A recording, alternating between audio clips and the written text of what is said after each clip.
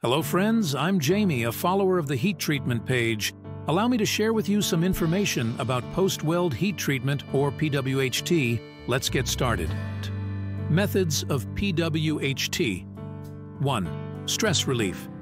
Method Gradual heating and cooling. Purpose Reduce residual stresses in the weldment, minimizing the risk of distortion or cracking. 2. Normalization. Method Heating to a specific temperature followed by controlled cooling.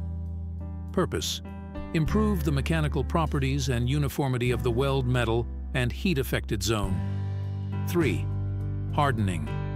Method Heating to a critical temperature followed by rapid cooling.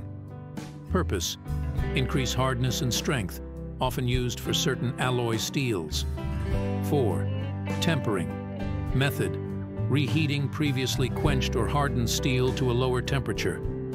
Purpose: enhance toughness and reduce brittleness in hardened materials.